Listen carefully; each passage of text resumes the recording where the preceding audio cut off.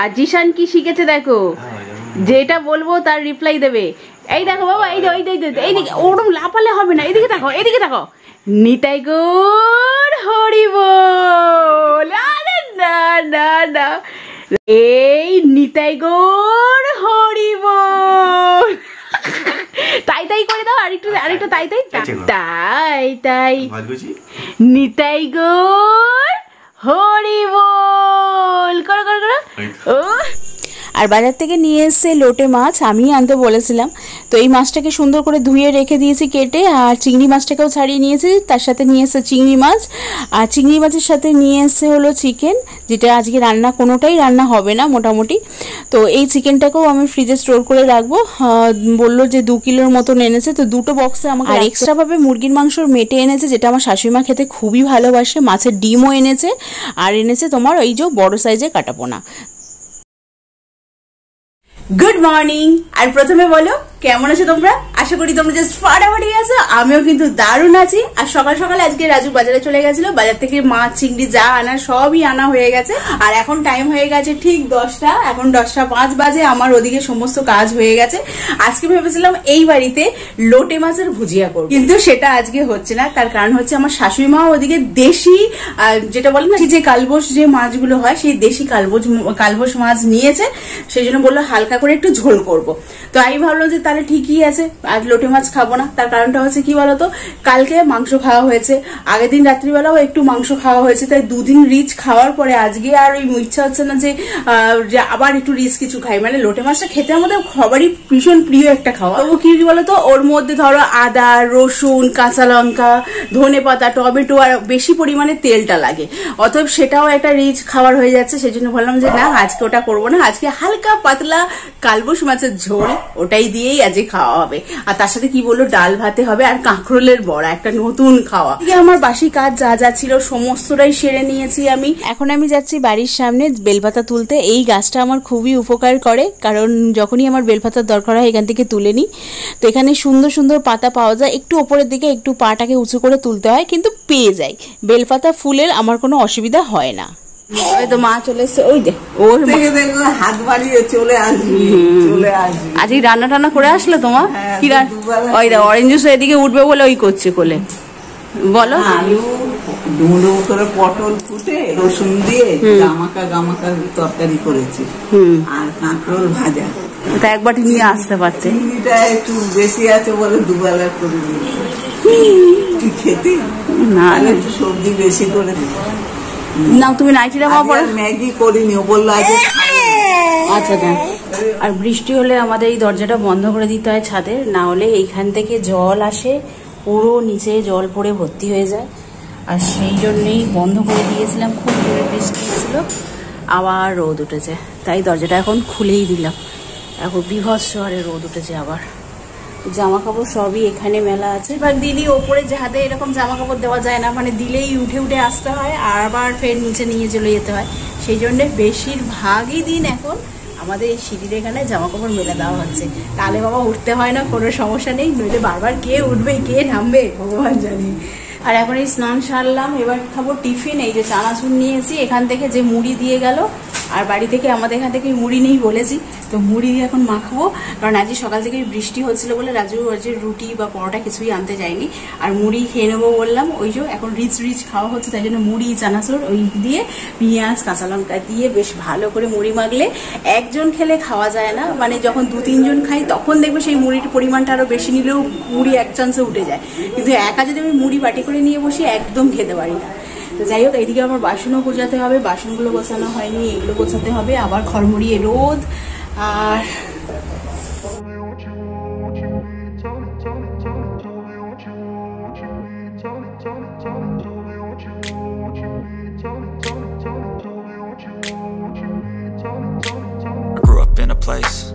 told you what to chase, told you how to run the race. Every move was on the page, but I didn't like their way. Had to fight and misbehave, had to find a way to change. Had to leave to find my way. Caught up in a daydream, I beat my mind up there almost daily. It's how I pass time, no opinions safely. It's how I understand what I want in this place. Cause everybody wanna tell you bad things. What could go wrong, what fame brings But success is a finicky thing. And if you ain't sure, no, it'll never be. I don't wanna let myself down, myself down.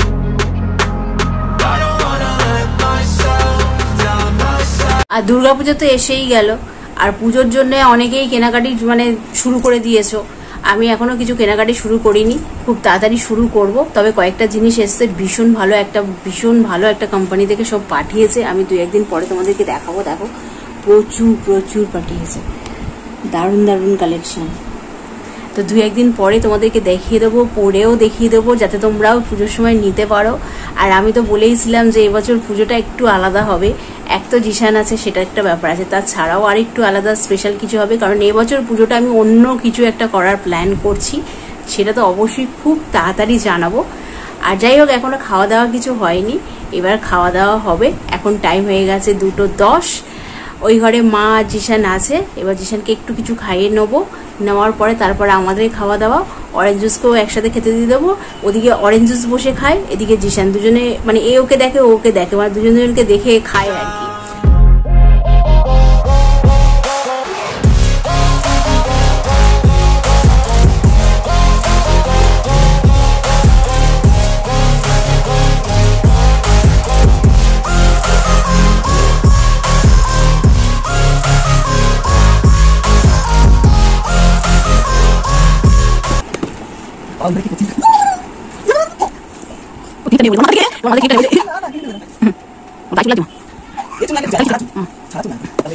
ছোটবেলায় জানতো না এত শান্ত এত শান্ত আর যেখানে নিয়ে যেতাম পুরো একদম সবাই বলতে এত শান্ত কি করে এখনও বলে হ্যাঁ খুব ঠান্ডা।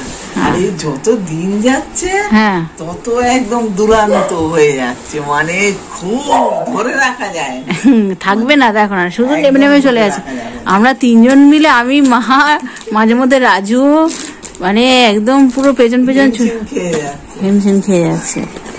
ডাক্তার হাবিব ডাক্তার বলছে যে একে তিনজন মিলে ধরতে হবে। বলে এ তো তিনজন লোক লাগবে ধরার জন্য। এত পা ছটকাচ্ছে এত এক সেকেন্ড মানে ওই যেটুকু ঘুমায় ওইটুকু। তাও ঘুমোতে ঘুমোতে তো ঘুমায় হাজার বার ওঠে। ঘুমের ঘরে। এবার ওর পাশে শুয়ে থাকলে অনেকক্ষণ শুয়ে থাকবে। হ্যাঁ। আর কালবোস মাছের হালকা ঝোল তার সাথে হলো ঘন করে ডাল মাখা আর তার সাথে আছে কাঁকরোলের বড়া যেটা খেতে খুব ভালো হয়েছে। তো আজকে দুপুরে আমাদের লাঞ্চ একদম ছোটবেলায় বলব না, তার থেকে আরেকটু বড় মানে মাঝ বয়সী এরকম বলব, যখন গরমের ছুটি পড়তো আমাদের, তখন আমি কি করতাম, আমি আমাদের পাড়ায় যে বান্ধবীর বাড়িতে এখনও যাই আমি, তো বা যখন স্কুল ছুটি থাকতো, বিশেষ করে রবিবার করে সকালবেলা ঘুম থেকে উঠতাম, কিছু একটু বিস্কুট বা যা হোক, কিছু একটু টিফিন খেয়ে নিতাম। নিয়ে মোটামুটি সাড়ে দশটা থেকে এগারোটার মধ্যে আরেকটা বন্ধুর বান্ধবীর কাছে ফোন চলে যেত। মানে ফোন করে দিতাম, এই, চলে আয়। মানে আমরা দুজন মিলে তাদের বাড়িতে গিয়ে সব হামলা করি আর কি। সবাই মিলে গিয়ে, দুজন মিলে গিয়ে ওদের বাড়িতে গিয়ে আরও দুজন আছে। সবাই একসাথে বসে আড্ডা মারি। প্রায় তখন দেড়টা থেকে পৌনে দুটো অবধি আমরা বসে থাকি।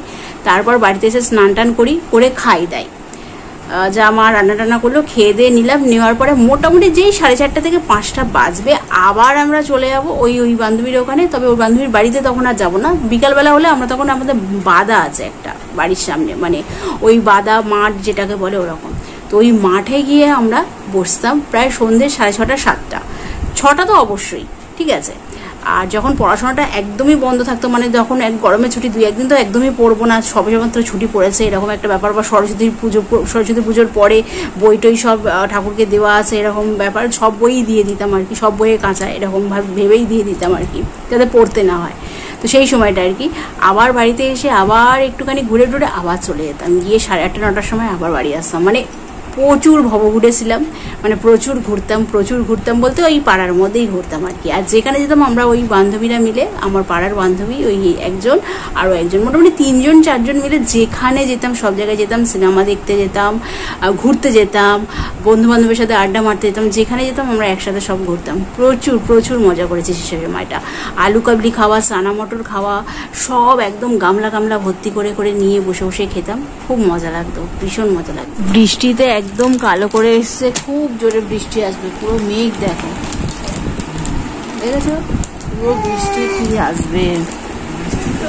বৃষ্টি তো সারাদিন পড়ছে কিন্তু যেরকম মেঘ করে আসছে এতটা বৃষ্টিও হচ্ছে না। হয় ওতে কম বৃষ্টি হয় পুরো একদম অন্ধকার। কালো মেঘ করছে কিন্তু বৃষ্টি একটু একটু। হ্যাঁ। ওই একবার বল দিদা।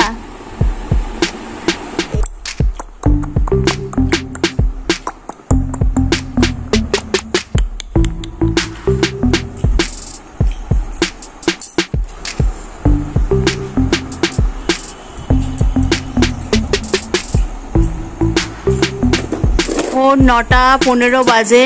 জিশান গেছে জিশান গেছে ওই বাড়িতে। আর এখন আমার বিছানাটা ঠিক এরকম। আরেকটা জিনিস দেখাবো, তোমরা এক্ষুনি দেখলে ভয় পেয়ে যাবে। সেটা হচ্ছে আমার খাটের সামনে, দেখো। জিশান মোটামুটি এই জিনিসগুলো নিয়েই খেলছিল। খেলতে খেলতে কান্না শুরু করেছে ওই বাড়িতে যাবে বলে। তো এখন আমাকে যেটা করতে হবে সেটা হচ্ছে এই জিনিসগুলো চটপট আমাকে গুছিয়ে নিতে হবে। মোটামুটি আধ ঘণ্টার মধ্যে আমাকে কি কি করতে হবে তোমাদেরকে দেখাই যে ঠিক আছে, তোমরা আমাকে সাহস দাও। সেটা হচ্ছে আমার বিছানা তুলতে হবে, ঠিক করতে হবে রেডি করতে হবে।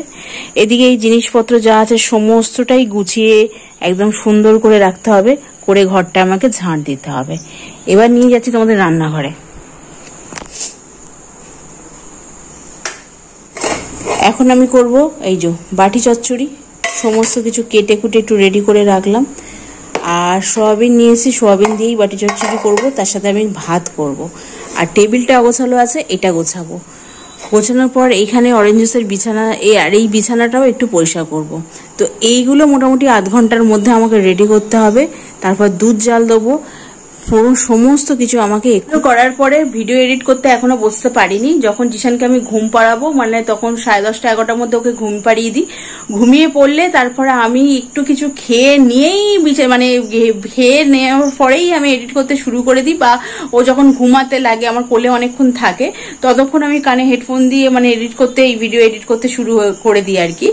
তো করতে করতে সাড়ে বারোটা বেজে যায়। সাড়ে বারোটা, পৌনে একটা তো অবশ্যই বেজে যায়। পৌনে একটার সময় গিয়ে তারপরে একটুখানি নিজের এন্টারটেন মানে কিছু একটু দেখি বা কোনো একটা গান বা কোনো একটা সানডে সাসপেন্স কিছু না কিছু মোটামুটি শুনে একটুখানি মনে আনন্দ দিই দুটো অব্দি এইভাবে কেটে যায়। তো এখন মানে যে কথা বলছি, কিন্তু আমার মনের মধ্যে অনেক কিছু ঘুরছে যে এইগুলো আমাকে করতে হবে। আর একটুখানি সন্ধ্যা থেকে ফ্রেশ ওয়াশও পর্যন্ত করিনি। তো ফ্রেশ ওয়াশ আজকে আমি আর করতে পারছি না, কারণ আমার মধ্যে এখন আর টাইমও নেই। সেই জন্য আমি ভাবছি যে এইগুলো আগে সেরে নিয়ে, তারপর সেই রাত্রিবেলা শোয়ার আগে যদি সম্ভব হয় তাহলে এগুলো করব। কারণ সারাদিনে এত ধুলো বালি নোংরা আমাদের স্কিনের মধ্যে লাগে, একটু ফেস ওয়াশ করলে না অনেক ফ্রেশ লাগে মুখটা। এখন দেখছ পুরো মানে এলো এখন পুরো খেতার খুকি লাগছে আর কি। তো এটা হলো ব্যাপার। এখন টাইম হয়ে গেছে দশটা দশ, এবার জিশান আসার সময় হয়ে গেছে। আমি কি কি করলাম দেখো, বিছানা তুলে নিয়েছি ঘর দোর তলায় পুরো পরিষ্কার করে নিয়েছি, এদিকে ড্রেসিং টেবিল পরিষ্কার করে নিয়েছি, আর যা যা, এই জায়গাটাও একটু পরিষ্কার করে নিয়েছি। আর ওদিকে আমার রান্নাও হয়ে গেছে, তোমাদেরকে দেখিয়ে দিই।